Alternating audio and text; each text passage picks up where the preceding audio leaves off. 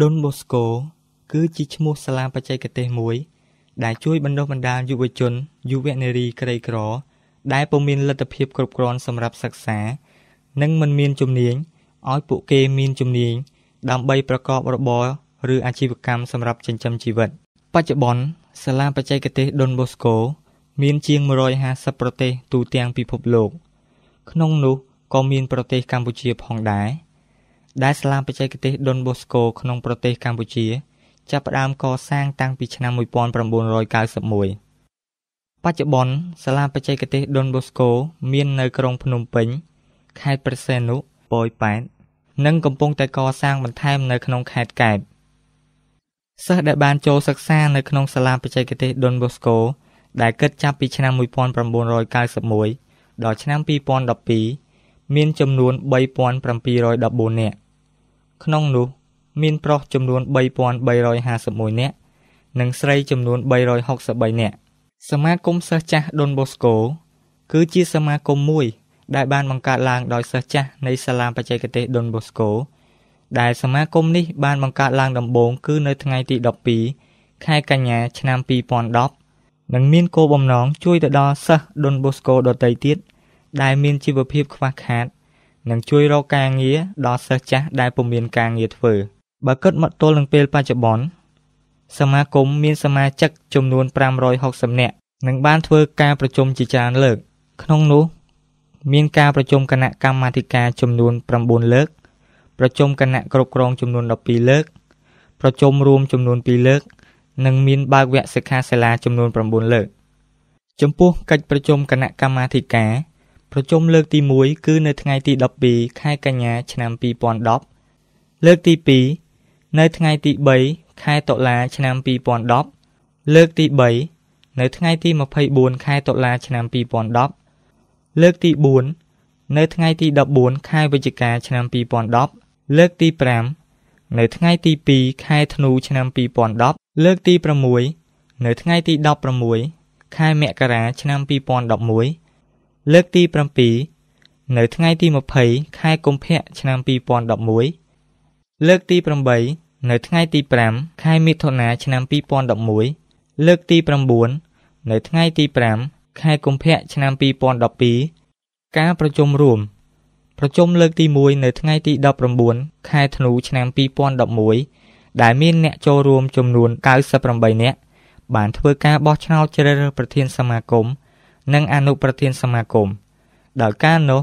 លោកភួនវិរៈជាប់ជាប្រធាន លោកតុយសម្បូរជាប់ជាអនុប្រធានទី1លោកពោសាមៀនជាប់ជាអនុប្រធានទី2លើកទី2នៅថ្ងៃទី3ខែកក្កដាឆ្នាំ2011មានអ្នកចូលរួមចំនួន150នាក់ដោយធ្វើការរាយការណ៍ពីសកម្មភាពសមាគមដែលបានធ្វើរួចហើយ និងកម្មវិធីអគុណសម្រាប់20ឆ្នាំរបស់ក្រុមគ្រួសារសាឡេសៀនដែលបានជួយយុវជនខ្មែរការប្រជុំគណៈគ្រប់គ្រងប្រជុំលើកទី1នៅថ្ងៃទី19ខែមិនិនាឆ្នាំ2011លើកទី2នៅថ្ងៃទី7ខែឧសភាឆ្នាំ2011លើកទី3នៅថ្ងៃទី28ខែមិថុនាឆ្នាំ2011លើកទី4នៅថ្ងៃទី11ខែកក្កដាឆ្នាំ2011 លើកទី5នៅថ្ងៃទី29ខែសីហាឆ្នាំ2011លើកទី6នៅថ្ងៃទី3ខែតុលាឆ្នាំ2011លើកទី7នៅថ្ងៃទី25ខែវិច្ឆិកាឆ្នាំ2011លើកទី8នៅថ្ងៃទី2ខែធ្នូឆ្នាំ2011លើកទី9នៅថ្ងៃទី1ខែកុម្ភៈឆ្នាំ2012លើកទី10 នៅថ្ងៃទី26ខែឧសភា ឆ្នាំ2012លើកទី11នៅថ្ងៃទី5ខែកក្កដាឆ្នាំ2012លើកទី12នៅថ្ងៃទី25ខែកក្កដាឆ្នាំ2012ចំពោះស្នាដៃដែលសមាគមទទួលបានកន្លងមក មានដូចជាចុះឈ្មោះចូលក្រសួងមហាផ្ទៃស្វែងរកការងារដល់សិស្សចាស់ស្វែងរកការងារដល់សិស្សត្រៀមចេញ ចំពោះការប្រជុំលើកចុងក្រោយនេះ ពលគឺនៅថ្ងៃទី5ខែសីហាឆ្នាំ2012សមាគមបានទទួលការចូលរួមពីបណ្ដាសិស្សចាស់នៃសាលាបច្ចេកទេសដុនបូស្កូជាច្រើននិងមានការចូលរួមជាអធិបតីដោយលោកឪពុកដែលជាអធិការដុនបូស្កូកម្ពុជា និងបងប្រុសព្រមទាំងលោកគ្រូអ្នកគ្រូ ដែលជាប្រធានអនុប្រធាន និងសមាជិកសមាគមទាំងអស់និងអធិដ្ឋានកម្មវិធីគុណប្រកាសឯងនិងប្រកាសជាអតីតដោយការប្រជុំ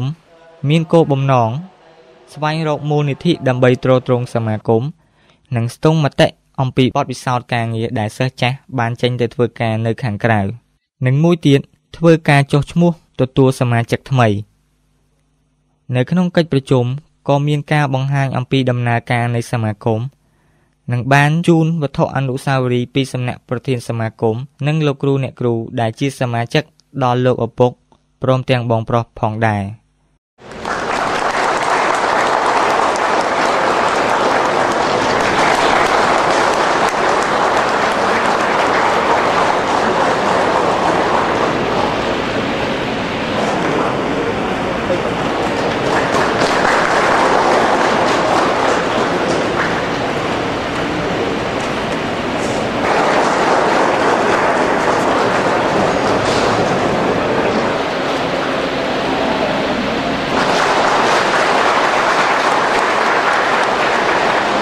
ពីខាងថាបាន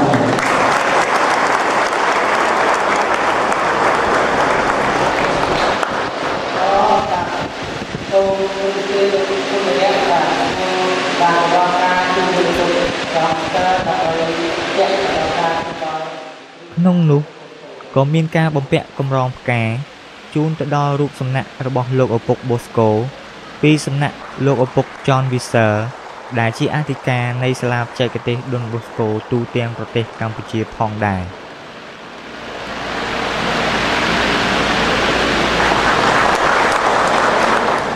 ប្រទានពរដល់លោកទាំងអស់គ្រប់ពេលវេលាសូមបន្ទាប់ពីនោះក៏មានការថ្លែងសន្ទរកថាអំពីចំណាប់អារម្មណ៍របស់លោកឪពុក John Visser ដែលជាអធិការនៃសាលាបច្ចេកទេស Don Bosco ទូទាំងប្រទេសកម្ពុជា និងអំពីប្រវត្តិនៃការកសាង Don Bosco នៅក្នុងប្រទេសកម្ពុជា